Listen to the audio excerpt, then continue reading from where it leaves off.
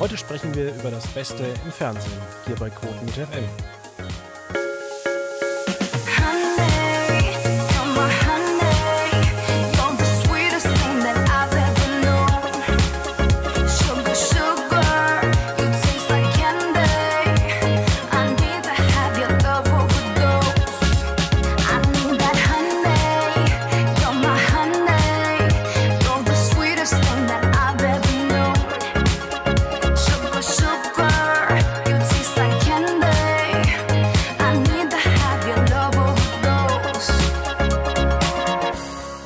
Recht herzlich willkommen zur Ausgabe 532 und heute ist mal wieder Hauke Reitz zu Gast.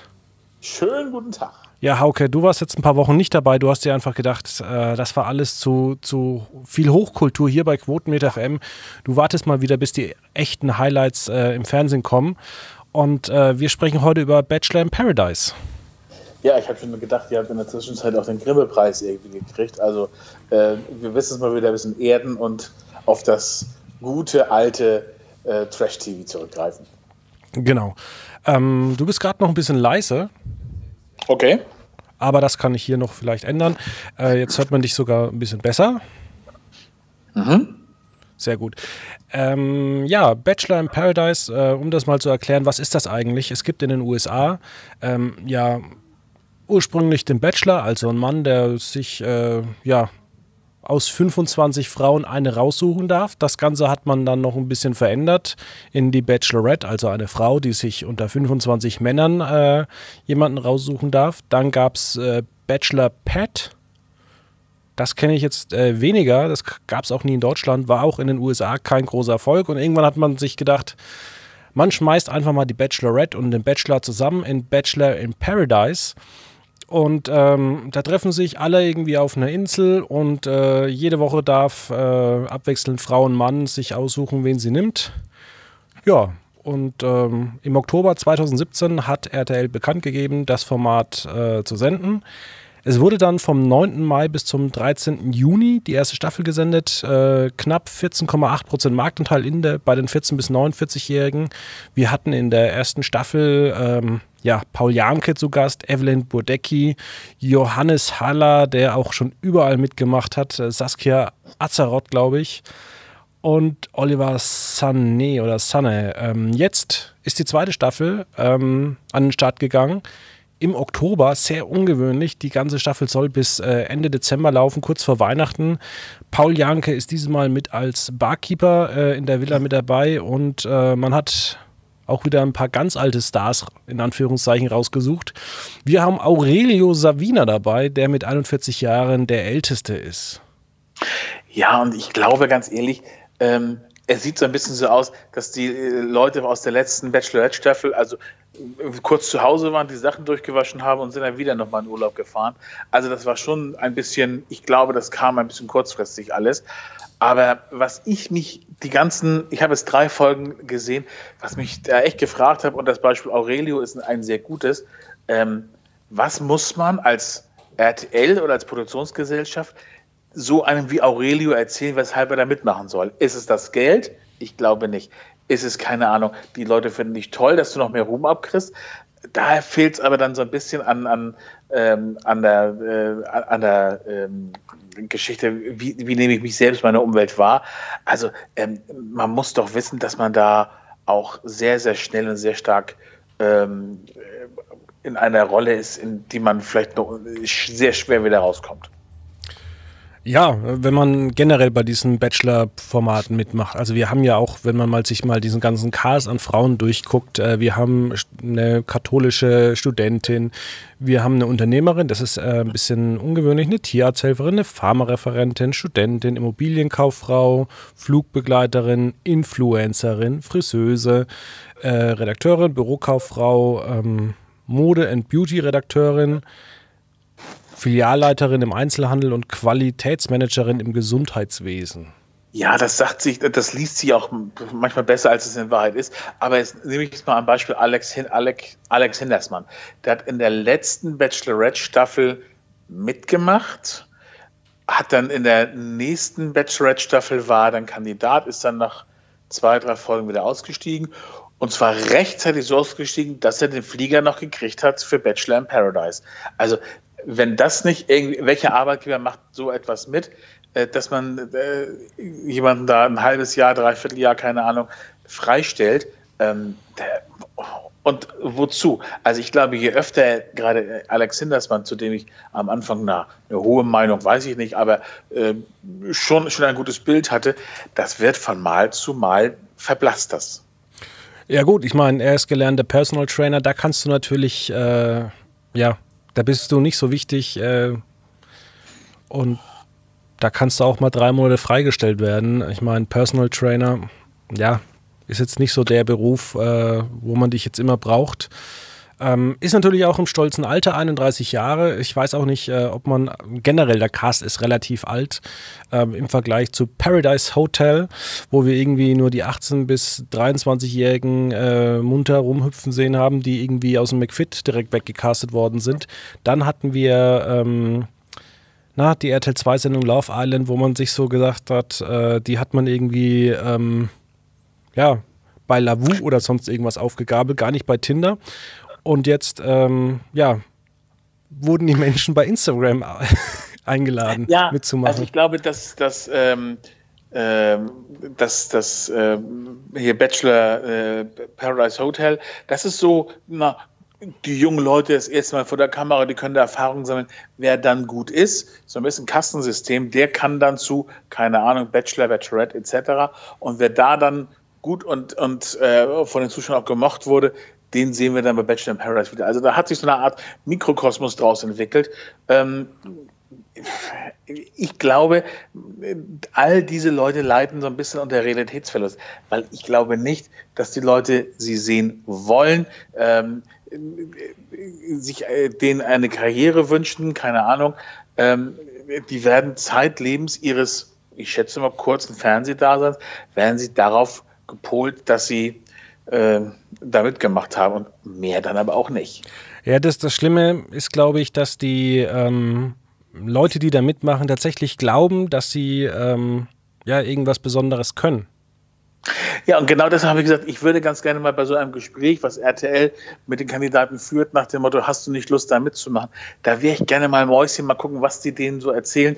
Und nach dem Motto, ey, du bist so toll, also die Sendung würde ohne dich laufen, komm mal bloß dahin. Und äh, was erzählen sie, was, was, eine, was ein Argument wäre, ähm, sein, naja, hochbezahlt wahrscheinlich nicht, sein Job aufzugeben oder ruhen zu lassen und ähm, dann mal wieder in die Südsee mit völlig fremden Männern und Frauen äh, da zu sein. Ja, ähm, ich habe ja mal eine Bekannte gehabt, die ähm, ähnlich auch so auf Instagram unterwegs war und ähm, bei der hat sich dann auch RTL gemeldet. Ich weiß nicht, ob es RTL oder eine Produktionsfirma war und irgendwie fürs Nachmittagsprogramm oder Vorabendmagazin und die dachte, oder sie glaubt immer noch wahrscheinlich, dass sie damit irgendwie äh, einen größeren Erfolg bekommt. Und ich habe ihr dann halt auch versucht zu erklären, naja, wenn sie mit ihr fertig sind, dann fragen sie halt einfach die nächste.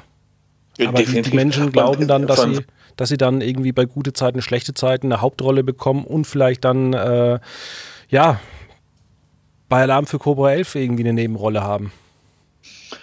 Ja, also ich glaube, der Pool der Leute, die das sich vorstellen könnten, ist wirklich enorm groß und ich glaube, er wird auch immer größer mittlerweile, weil ja auch die Sender äh, dieses Potenzial befriedigen, äh, dass die Leute, keine Ahnung, aus dem McFit her hernehmen oder äh, aus, aus den Stellengesuchanzeigen irgendwelche Städteblätter oder so.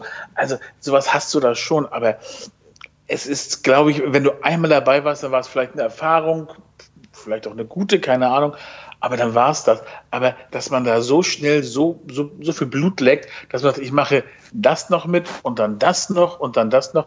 Also, irgendwann ist doch noch gut. Ja, vor allem interessant fand ich, dass ich einige irgendwie auch privat kenne. Also wie auch bei, ähm, wie bei Paradise Hotel. Es gibt ja wirklich anscheinend so eine Welt von Menschen, äh, die sich da kennt und äh, dann auch gegenseitig sich wahrscheinlich auch einlädt oder sich gegenseitig empfiehlt und sich dann auch in diesen Produktionen trifft.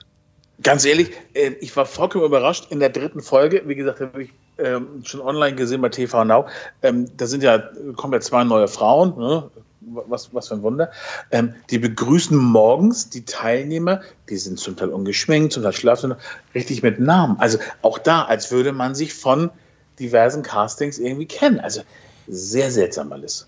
Ich frage mich ja immer sowas, das sind ja knapp ähm, 30, 35 Darsteller jetzt. Ähm, ich meine, RTL wird es jetzt nicht so machen wie beim Dschungelcamp, irgendwie sieben verschiedene äh, Maschinen chartern und mit den einzelnen rum. Also bei so einem großen Cast da hocken die dann alle zusammen irgendwie im Flugzeug und dürfen nicht miteinander reden oder wie ist das? Also da würde ich auch mal ganz gern dabei sein. Ja, und ich weiß auch nicht, in welchem Abstand jetzt die neuen Kandidaten dann auch eingeflogen werden. Ob die jetzt sozusagen auf dem Hotelzimmer sitzen und warten, dass irgendjemand rausfliegt und dann äh, dabei sind oder ob die dann wirklich ein paar Tage später erst fliegen. Oder, also, das ist alles sehr seltsam. Und ich glaube, auch manche Fragen will man noch gar nicht beantworten. Momentan ist es aber bei mir so, dass so dieser, die, diese, dieses Feeling des, na, des Neuen, des, äh, äh, das ist spannend, äh, das muss man gesehen haben, das verblasst so ein bisschen, weil natürlich ähm, es ist auch dieses Mal das Gleiche wie in den Jahren zuvor, nur halt die Köpfe sind andere. Ja, aber man muss auch mal sagen, ähm, das, was äh, RTL da produziert hat, sieht ähm, relativ hochwertig aus. Das stimmt und auch dieser was ist das, ein Club oder also da, wo die, da, wo sie dann, dann wohnen, Bachelor in Paradise, ähm, das, ist, das ist auch mit Sicherheit extrem hochwertig. Also äh, das kann ich schon verstehen, dass da manche sagen, da muss ich unbedingt hin. Ähm, wie gesagt, was ich halt seltsam finde, ist, ähm, die, die Schlüpper vom ersten Urlaub sind noch gar nicht richtig trocken, da wird schon wieder der neue Koffer gepackt. Aber das ist dann so. Jetzt müssen wir uns natürlich mal überlegen, warum die Quoten eigentlich dieses Jahr so schlecht sind. Ich glaube, weil das auch ein Teil, zum Teil inflationär ist. Also ich will nicht immer von früher reden, der guten alten Zeit, aber es war, da gab es Bachelor, da gab es Bachelorette und irgendwann, als die Zeit äh, zwischen zwei neuen Staffeln dann auch ein bisschen äh, sich hinzog, äh, hat man so etwas erfunden. Mittlerweile äh, haben wir selber ja auch am Anfang gesagt, es gibt Love Island, es gibt äh, dies und jenes. Also der Markt ist halt größer geworden, dessen, was ich, was ich gucken kann. Und nicht nur im linearen Fernsehen, sondern auch ähm, ähm, die Streamingdienste haben ja Sachen, die sie exklusiv dann für die Streamingdienste dann da auch produziert haben. Ähm, es gibt jetzt demnächst ähm, auf, ich glaube, TV Now Guilty Pleasure, was auch in die, sagen wir, Bachelor, Bachelorette-Familie dann auch, dann auch äh, an. Nee, Guilty Pleasure ist das äh, Label, mit dem tatsächlich RTL äh, wirbt. Ja, aber die, die werben auch äh, damit für, für TV Now. Also, ja. Äh, ach, ist es auch im linearen Fernsehen zu sehen dann? Oder? Nee, okay. Guilty Pleasure ist dieses Label von wegen, klick das bei TV Now an und da kriegst du genau das, äh, wo du, also es ist eigentlich äh, deren Label für Trash-Fernsehen.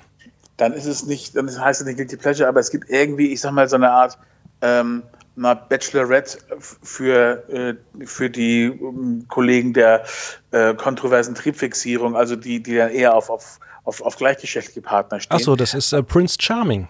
Prince Charming, genau, Entschuldigung, das war's. Und das, ähm, wir haben da ein Füllhorn von tra richtig Trash. Und deshalb sind die Quoten halt so, wie sie sind. Oder liegt es vielleicht, ähm, wie ich so ein bisschen finde, auch an der Jahreszeit? Wir haben jetzt äh, nicht mehr Hochsommer, wo auch im, gefühlt im Fernsehen nichts mehr kommt. Also da kam ja auch bei ProSieben nichts. Jetzt haben wir Joko und Klaas gegen ProSieben. Wir haben die Hülle der Löwen. Wir haben natürlich auch in der ARD ähm, Serien, die sehr gut äh, funktionieren. Da liefen ja auch im Sommer nur Wiederholungen. Ähm, liegt es vielleicht auch daran, dass äh, Fußball im Gegenprogramm läuft? Ich glaube, es ist eine Mischung aus sehr viel. Ich muss ganz ehrlich sagen, wenn ich die Wahl hätte zwischen einem guten Fußballspiel und, äh, und äh, Bachelor in Paradise, es tut mir schon sehr leid für Bachelor in Paradise, aber ich weiß, wofür ich mich entscheiden würde. Naja, aber das Bayern-Spiel war jetzt auch nicht gerade das Beste am Dienstag. Aber äh, unabhängig davon, ob das Spiel nun gut wird oder ist oder nicht, das weiß man, das weiß man vorher nie. Aber du hast dann Leute, die da mit einer gewissen Ernsthaftigkeit den, der Sache, dem Sport, eine Chance geben. Und das ist schon was anderes, um zu sagen, hier, guck mal, das Tattoo habe ich. Und äh, also die Gespräche untereinander sind extrem dünn. Und das, das, also das ist, glaube ich, etwas, das kann man sich angucken, eine Zeit lang, aber ich finde auch den Zeitraum bis, ähm, bis, bis Ende Dezember oder wie lange auch die, die neue Staffel Bachelor genau. Paradise geht, äh, finde ich extrem lang. Ja, es kommen jeden Tag, jede Woche zwei, drei neue ähm, ähm, Damen oder Herren neu dazu. Aber irgendwie, das ist, das ist also der Cast ist gegenüber vom letzten Jahr nochmal massiv aufgebläht worden. Ich glaube um knapp äh, zehn Leute.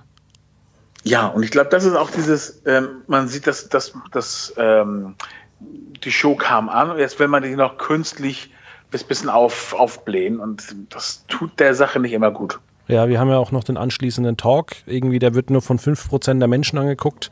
Die Sendung hat weniger Zuschauer als äh, damals im Mai, Juni und Juli oder im, nur bis Juni 2018. Also irgendwie, irgendwie trifft es zurzeit nicht den Nerv. Äh, vielleicht, weil RTL zu oft den Nerv getroffen hat. Wir hatten ja auch äh, die extrem erfolgreiche Sommerhaus der Stars Staffel mit dem Wendler. Komischerweise nach dem Wendler sind die Quoten doch zurückgegangen und war auch inhaltlich nicht mehr ganz so geil. Ähm, ja. ja, und äh, trotzdem, ich kann RTL da schon verstehen, dass sie in der Vergangenheit war es ja so, es gab nach der letzten Nacht der Rosen beim Bachelor oder bei der Bachelorette einen Talk, wo alle dann sich um einen Kamin und um Frau Koludewig gesammelt haben und dann so ein bisschen vom Leder abgezogen haben. Jetzt gibt es nach jeder Folge Bachelor in Paradise einen Talk. Wohl, ich glaube deshalb, weil sie gemerkt haben, dass die Menschen, die sich das angucken, vielleicht nicht gerade sich alle gemeinsam vor dem Fernseher versammeln, aber da wird parallel eine WhatsApp-Gruppe gebildet, dann wird geschrieben, guck mal, was der macht, guck mal, was der anhat, guck mal, was sie macht und so weiter. Ähm, das ist so ein bisschen dem ähm, äh, Tribut zu zollen. Ich glaube aber, ähm, das ging so ein bisschen nach hinten los und nicht immer ist Frau Koludewig die, die Allzweckwaffe, die dafür auch herhalten muss. Also ich glaube, man hätte das ähm, anders aufziehen können, dann wäre es auch ein Erfolg gewesen. Ja, durchaus. Ähm, wobei ich auch so das Gefühl habe, ich glaube, dass man mit dem, was man für Kandidaten bei uns zurzeit hat, äh, kann man, glaube ich, nicht äh, jedes Jahr so eine große Bachelor in Paradise Staffel machen. Also ich muss auch sagen, ich habe mich ähm, bei Love Island auch schon ein bisschen ähm, gelangweilt. Der eine oder andere guckt das ganz gerne, aber ich war da auch jetzt nicht so wirklich der, der da so gut unterhalten worden ist. Und ähm, bei Hotel Paradise ähm, bin ich auch erst nach ein paar Folgen reingekommen. Ja, und ich glaube, wie gesagt, es, es, gibt ein Überangebot und insofern, wenn es ein, zwei Sachen gäbe von Leuten, die sich dann also im Urlaub suchen und finden, ähm, dann reicht es. Aber was, was kommt da hinzu? Äh, es gibt ja auch diverse andere Sender, die ähm, vielleicht nicht gerade auf diesem Zug äh, Bachelor, Bachelorette aufsteigen, aber trotzdem, wo man ähm, ja, so eine, so eine Art ähm, Mockumentary oder so eine Art ähm, andere Show draus zieht. Ähm, ich will nicht viel vorweggreifen, weil das wird auch mein TV-Tipp. Aber das, ähm, das ist schon etwas. Also es, es gibt in den letzten na, zwei, drei Jahren hat es ein Überangebot gegeben und da wird es einfach den, den normalen Prozess geben, dass sich das in irgendeiner Form wieder bereinigt. Ich muss auch gestehen, dieses Überangebot, wie du sagst, äh, fällt mir persönlich auf bei Joko und Klaas, was ich auch ganz gerne anschaue. Ähm, ich merke nur, ich komme da nicht hinterher. Jetzt äh, hatten sie zwei oder drei schon wieder Samstagabendshows und jetzt auch äh, viermal am Dienstag. Das ist mir tatsächlich zu viel. Ich weiß gar nicht, wann ich das alles angucken soll. Ja, und ich bin am, ähm, es, es war erstmals so, dass auch die Boulevardpresse sich so ein bisschen auf Joko und Klaas eingeschossen hat. Nach dem Motto, ist bei den Sendungen äh, die beiden gegen ProSieben, geht da alles mit rechten Dingen zu? Gibt es da Sachen, die vorabgesprochen sind und so weiter? Dann kommt ja noch diese neue Show, äh, hier die Live-Show bei dir zu Hause mit Optenhöfel und Steven Gätjen. Mit Sicherheit gut gemacht, aber äh, man merkt dann schon, dass das Studio fehlt. Das wird sehr, äh, sehr hölzern alles und äh, manches äh, Aber wo zieht schon, so ein bisschen in die Länge. Ne? Wo wir da schon dabei sind, ich habe so immer das Gefühl, ähm, nur dadurch, dass sie kein Studio haben und dass sie jetzt eine Live-Show von irgendwo machen, äh, muss diese ganze Sendung jetzt so zäh sein. Naja, äh, ich glaube, es geht gar nicht um, dass sie ein Studio haben oder, oder das im Vorgarten mal jemand machen, aber so dieses, wir brauchen für dieses Spiel, brauchen wir, keine Ahnung, ähm, 15 Tischtennisbälle bis die dann dort sind äh, und zum Einsatz kommen, da vergeht natürlich sehr viel Zeit, die dann von Matthias Oppenhövel und Stephen Keating irgendwie aufgefangen werden müssen. Das, das wirkt dann sehr schnell sehr zäh. Ja, das Gefühl hatte ich bei der Sendung eben auch. Und äh, jetzt sollen ja auch Joko und Klaas wieder zu Gast sein. Ähm, ja, also ich habe so jetzt auch, ich sag mal so, es ist zwar ganz nett, dass man das von zu Hause aus macht oder von woanders. Man kann ja auch das, es muss ja nicht direkt irgendwie äh, in der Nachbarschaft von irgendjemandem gemacht werden. Man kann ja auch ein großes, äh, an einem großen Einkaufszentrum oder sonst irgendwas äh, sowas machen. Halt mal raus irgendwie aus Köln, München, äh, Berlin oder Hamburg ähm, und das veranstalten. Aber ich habe so immer das Gefühl, immer wenn man da irgendwie so rausgeht, das Konzept ja, also irgendwie diese ganzen Sender ja. Äh, ja. beschränken sich dann immer irgendwie so, wir haben einen Punkt, den wir gut verkaufen. Und das ist jetzt in, de, in dieser Sendung, ist es jetzt, wir sind bei den Leuten zu Hause. Und das mhm. restliche Konzept ist nicht gut. Ja, das stimmt. Und es tut mir so ein bisschen, und bei Moderatoren leid, die ich halt nach wie vor sehr mag und sehr schätze, aber das ist so ein bisschen. Äh, unter, na, unter dem Niveau vielleicht nicht, aber das wird den Herrn Gätchen und Oppenhövel nicht ganz gerecht, finde ich. Und vor allem, man muss ja auch mal sagen, die Gewinnsumme. Wie kommt man eigentlich auf 90.000 Euro? Also, Vielleicht sagt der ProSieben, macht was ihr wollt, aber gebt keine 100.000 Euro aus, das ist keine 100.000 Euro Show. Macht es weniger, das ist 90. Ich, ich habe keine Ahnung. Also es ist eines der, der vielen Mysterien, durch die, die ich auch nicht durchblicke. Ja, und wo wir schon dabei sind, wenn wir mal auf die ganzen Shows eingehen, ähm, das ist auch so ein typisches Problem, was ich zum Beispiel sehe bei, bei Schlag den Hensler oder äh, diesen Schlag den Star oder äh, Schlag den Besten, dass wir mit dem ganzen Konzept oder mit dieser On-Air-Grafik, ähm, dass das alles total veraltet ist. Also auch Elton zum Beispiel ist da äh, ein unfassbar, ich muss es immer wieder sagen, unfassbar schlechter Moderator, wenn da jemand sagt irgendwie so, äh, welcher Planet ist, äh, gehört nicht mehr zum Sonnensystem, dann sagt jemand Venus, ne, Schmarrn nicht Venus, sondern äh, Pluto. Und ist das jetzt richtig? Hm. Düt, düt, düt, düt. Da denke ich mir mal, ja, Spannung, wo? Hm. Ja, ich glaube, die sind ein bisschen Gefangener ihres eigenen Daseins. Also das ist, das äh, hast du recht, das wirkt manchmal ein bisschen hölzern. Und da finde ich, ähm, ich sag's immer wieder, wenn ihr mal Leute da draußen was Neues machen wollt, äh, guckt euch tatsächlich mal sowas wie die 100.000 Mark Show an. Wir hatten jetzt auch im Sommer so viele Konzepte. Ähm, oh, wir machen übrigens einen richtig großen Schwenk. ähm, wir hatten jetzt auch die Sendung Rennen zur Million oder was das auch immer war, ähm, die auch tierisch langweilig war, weil man sich auch wieder nur auf so einen Eckpunkt äh, irgendwie versteift hat. Ähm, ja, das war bei der 100.000 Mark Show äh, das erste Spiel, was fünf Minuten ging. Und das war unterhaltsam. Punkt.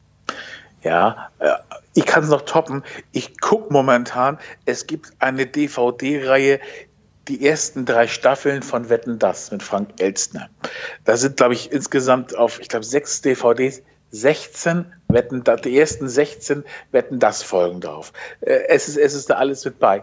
Aber wenn man sich das mal anschaut, in welchem Tempo das abgeht, äh, im besten Falle, das muss man positiv sagen, wie viel Zeit sich ein Frank Elstner für den einen oder anderen Kandidaten nimmt.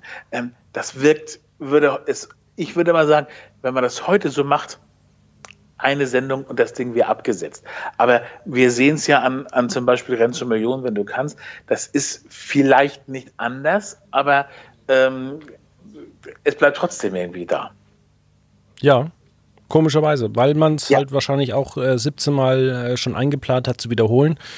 Und äh, ich sage dann immer wieder, ähm, hätten die Leute das gewusst, die damals die Gerichtsshows äh, produziert hätten, ähm, dann hätten wir da noch viel mehr Trash abbekommen. Ja, ist wahrscheinlich so. Ja, ja, das stimmt. Aber machen wir heute eine, eine Großabrechnung mit dem, mit dem, mit dem Fernsehen äh, anno 2019. Das ist ja. Ja, großartig. muss auch mal sein. Aber wir haben uns ja, wie gesagt, mit dem Reality-Fernsehen auch schon auseinandergesetzt. Und das Problem ist, ähm, wir können auch nicht, nicht, zu viel jetzt verraten von, den, von der dritten Folge von Bachelor in Paradise. Außerdem muss man auch sagen, ähm, es tut uns natürlich auch leid, äh, es guckt halt auch keiner. Ja, ja. Es gibt ein Überangebot und ähm, vielleicht ist auch die Zeit vorbei, dessen äh, ich, ich hau mal drauf und, und guck mal, was dann passiert, sondern dass es dann eher andere, kleinere Sachen sind, die dann den Erfolg dann auch, dann auch momentan haben. Hm. Ja, dann würde ich fast äh, übergehen zu den ähm, kleinen Rubriken, die wir immer haben. Mhm. Ja, ähm, fangen wir an mit, äh, mit den Kurznachrichten. Ähm, das, die Kurznachricht ist auch gleichzeitig äh, mein Flop der Woche. Ähm, es ist der unwahrscheinliche Weg von Judith Williams, die wir ja als äh, Löwin bei, den Höhle, bei der Höhle der Löwen auch äh, kennengelernt, geliebt, gemocht, keine Ahnung, die ja auch äh, im Shopping-Kanal groß ist. Und jetzt wagt das große ZDF und gibt ihr eine, was ist denn das, eine Dienstags, Dienstagsabendshow? Dienstagsabend, oder? Mittwochsabendshow. Ähm, vom, weil sie ist ja, das, äh, das wissen ja viele nicht, ausgebildete Opernsängerin. Und ähm, die, die Idee, ähm, dass man sozusagen, dass man da Menschen, Paare, Arbeitgeber, Arbeitnehmer, Liebespaare, Leute, die sich lange nicht gesehen haben, Oma und Opa, was auch immer zusammenbringt. Und der eine hat für den anderen einen Song. Das war, das gab es mal früher ein Schlecht, so bei Rudi Carell, ich sing dir mal ein Rudi Gramm und sonst was. Das war grausam. Mittlerweile hat man davon auch gelernt und holt sich sozusagen den Originalsänger. Ob das eine Sarah Connor ist oder eine Lea oder sonst was. Wir haben ja mittlerweile auch in Deutschland genug, finde ich, Leute, die Deutsch singen und äh, das dann auch, dann auch vertreten können. Ähm, die Sendung an sich, finde ich, hat sehr viel Charme, hat äh, sehr viel Wärme. Ähm, einzig und allein, was da nicht reinpasst, finde ich persönlich, ist Judith Williams. Ich finde es ein bisschen krass, ähm, dass man Judith Williams, die ja beim ZDF bislang noch gar nichts gemacht hat, gleich zwei fette Sendungen äh, zur besten Sendezeit anbietet. Was natürlich für andere Leute, ich sage jetzt mal in Richtung Jan Böhmermann und der Bild- und Tonfabrik, auch so ein Schlag in die Magengrube ist. Also da, die, die berackern sich seit sechs Jahren, dass sie da irgendwo mal äh, einen vernünftigen Sendeplatz im Hauptprogramm bekommen. Und dann kommt eine Löwin vom, vom, von Vox und kriegt gleich zwei Sendungen. Weil man, glaube ich, von ZDF der Meinung ist, äh, sie ist massenkompatibler, als es ein Böhmermann je sein kann. Das kann natürlich sein, aber jetzt äh, die Quoten sind jetzt nicht so gut. Ähm, ja. Ich mache mal weiter. Ich finde ja? find das generelle Konzept der Sendung nicht schlecht, aber ich brauche da keine Judith Williams, die mir äh, die Moderation da kaputt macht. Ja, mit Sicherheit. Ähm, bei mir geht es um ein ähnliches Thema, äh, auch eine Show bei der Kurznachricht und zwar die 500. Ausgabe von Wer weiß denn sowas wird ganz groß gefeiert ähm, am 23. November 2019. Da ist normalerweise äh, auch Geburtstag von Dr. Who, 55, nee, 55 Jahre, aber das wird dann nicht groß gefeiert, nein, sondern äh, die 500. Ausgabe von Wer weiß denn sowas. Und weil man sich gesagt hat, das ist eine tolle Sendung, macht man einfach gleich drei Folgen und das Ganze geht 190 Minuten. Und da habe ich schon einige Leute gehört, die gesagt haben, ja, ist ja ganz schön, aber das ist mir zu lang. Und jetzt kann ich es toppen. Wer hat dafür Karten? Wer ist da im Publikum? Ich. Du. Ja. Ja, ich war ja vor kurzem auch bei Wer weiß dann sowas und ich habe es mir nicht nehmen lassen, auch eine Zuschauerfrage zu beantworten oder äh, den Publikumsjoker dann zu ziehen. Ähm, ich habe es leider falsch beantwortet, aber ähm, das ähm, ist eine unwahrscheinlich tolle Sendung, die von sehr vielen Menschen auch hinter den Kulissen extrem geliebt wird und das, und das merkt man. Also das ist, das ist ein, eine, eine so schöne, wirklich eine so schöne Sendung. Ähm, das macht Spaß und äh, ich habe eine E-Mail bekommen, die Aufzeichnung dauert fünfeinhalb Stunden. Also da muss man, glaube ich, schon irgendwie ein paar Brote mitnehmen, dass man das auch irgendwie auch, auch rein, rein von der Kraft her schafft. Aber ich bin äh, dann dabei beim großen, wer weiß denn sowas, Jubiläum. Okay, dann wünsche ich dir schon mal gutes Sitzfleisch. Ich mache mal weiter mit meinem äh, Top der Woche. Und zwar, ich sehe es die ganze Woche schon, aber ich hatte noch keine Zeit, es anzugucken. Ganz groß bei, bei Fire TV. Amazon und äh, Modern Love, die neue Serie, die soll recht gut sein. Äh, haben auch schon viele Leute angeguckt und es wurde jetzt auch eine zweite Staffel bestellt. Es ist eine Anthologieserie und es äh, basiert auf einer ähm, Kolumne in der New York Times. Und äh, da werden immer Liebesgeschichten erzählt. Und da bin ich gespannt und äh, will mir das dann auch mal die nächsten Tage angucken. Ja, mein Top der Woche hat äh, den ähnlichen Wortklang wie, wie, wie, dein Top der Woche, aber er ist noch ein bisschen anders. Ich bin gerade dabei, äh, natürlich im englischen Original, weil es noch nicht anders verfügbar, die allerneueste Staffel von Modern Family zu schauen, weil es wird ja momentan sehr viel Modern Family wiederholt, auf, auch auf Comedy Central. Ähm, finde ich gut, finde ich nach wie vor toll und eigentlich kann das öfter passieren, aber man weiß dann auch so ein bisschen, was passiert. Und insofern habe ich ja mit, mit sehr viel Vorfreude mich der elften Staffel dran insofern genähert. Und ja, es ist jedes Mal so ein bisschen äh, mit, mit, mit einer Träne im Knopfloch, dass man weiß, es geht auf die Zielkurve und es ist bald zu Ende. Also das, äh, wer, sich, wer die Chance hat, das zu sehen und im Englischen auch etwas mächtig ist, ich kann es nur empfehlen. Ja, ähm, bei mir, mein Flop der Woche ist äh, Euphoria. Ich habe mir die erste Folge letzte Woche mal angeguckt bei Sky. Ich habe mich dann auch inhaltlich ähm, diese Woche bei Quotenmeter damit beschäftigt. Ich habe ein Branchenecho dazu geschrieben, habe einfach mal die Kommentare so der, der Redakteure von Quotenmeter, von Serienjunkies, aber auch äh, von Variety und so durchgelesen. Und äh, ich habe auch gar nicht so Lust, da wirklich weiter zu gucken, weil diese Serie ist unfassbar traurig und da geht es um Drogen und da kommt so, also man hat auch gar nicht so die Hoffnung, dass es da so weitergeht. Es ist eigentlich immer nur, äh, ja, es ist einfach nur deprimierend. Und ähm, ein Redakteur sagte eigentlich, ähm, ja, es ist eigentlich, ähm, es grenzt schon fast an, an Pornografie. Ähm, und es ist kompromisslos äh, und äh, es ist allerdings auch so harmlos, weil, und man kann es ja auch so sagen, man sieht relativ viele Geschlechtsteile. Aber mhm. ich sag mal so, es tut der Handlung jetzt nicht wirklich was zugute und ähm, ganz ehrlich, ich muss mir da auch keine Geschlechtsteile angucken. Ich, äh, ich meine, die Zeiten sind vorbei. Ich habe das auch schon mal gesagt, als Galileo noch irgendwelche BH-Tests gemacht hat. Heute kann jeder irgendwo auf seinem Acker, äh, wenn er einen hat, irgendwo draußen auf der Wiese mit seinem Handy irgendwelche Filme angucken aus dem Internet. Also irgendwie, ich weiß auch nicht. Also ich glaube, die Serie will halt so ein bisschen schockieren, weil sie schockieren will, weil sie sonst wahrscheinlich äh, ja nicht wahrgenommen wird. Ja. Ja, mein, mein, mein, Flop, hat, mein Flop hatte ich schon mit ähm, der Julie Williams Show. Äh, was noch bleibt, ist sozusagen mein, mein TV-Tipp. Der ist noch ein bisschen hin, ich gebe es zu, aber ich war ähm, sehr erstaunt, als ich, als ich las, dass man schon relativ weit ist äh, mit der dritten Staffel von Babylon Berlin. Ähm, die kommt, ich finde, äh, äh, hoffentlich genau rechtzeitig. Ähm, ich hätte eher damit gedacht, dass man noch ein bisschen braucht, bis die neue Staffel kommt, aber man hat es wohl, ähm, man schafft es wohl dieses Jahr irgendwie noch, äh, zumindest bei Sky, dass Babylon Berlin in die dritte Staffel geht. Freue ich mich jetzt schon sehr drauf. Ja, ich äh, muss es noch angucken. Ich bin auch noch nicht so weit. Ähm, mein TV-Tipp, ich habe es schon komplett angeguckt. Ähm, eigentlich sollten bloß drei Folgen bei Netflix äh, verfügbar sein, aber es gibt da einen Fehler, deswegen konnte ich mir die ganze Serie angucken. Ähm, die Rede ist von Wir sind die Welle, startet am Freitag, den 1.11. Super tolle deutsche Serie, kann ich wirklich nur empfehlen. Ähm, und wer, wem das nichts äh, zusagt, der kann die dritte Staffel von Atypical angucken, auch ab 1.11. Allerdings die Welle kann ich jeden nur ans Herz legen.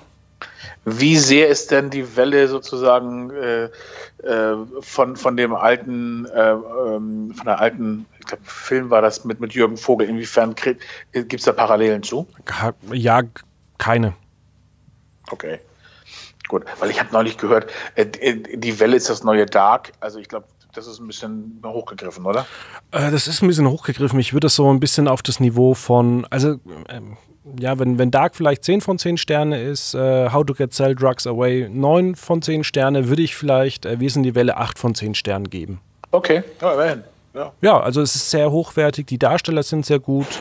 Äh, es sind, ja, manche Sachen sind es nicht ganz so logisch, da kann man sich dann vielleicht in ein, zwei Wochen nochmal hier bei Quoten mit FM im Detail unterhalten. Aber mhm. es ist auf jeden Fall etwas, was man sich sehr gut angucken kann und ähm, es ist wie Deutschland 86. Man guckt sich an und man stellt fest oder man denkt sich, das kommt nicht aus Deutschland. Mhm. Schön. Oh, das werde ich dann mal auf meine Watchlist noch packen. Genau. Damit haben wir es auch die Woche schon wieder. Ähm, Hauke, wenn wir uns beide unterhalten, geht die Zeit immer so ganz schnell vorbei. Bestimmt, ja. Ja. Aber ich hoffe, es war auch für den einen oder anderen Hörer was dabei. Genau. Und dann hören wir uns nächste Woche wieder und wir wünschen ein schönes Wochenende. Ja, sehr, sehr gerne. Mach's gut. Tschüss. Tschüss.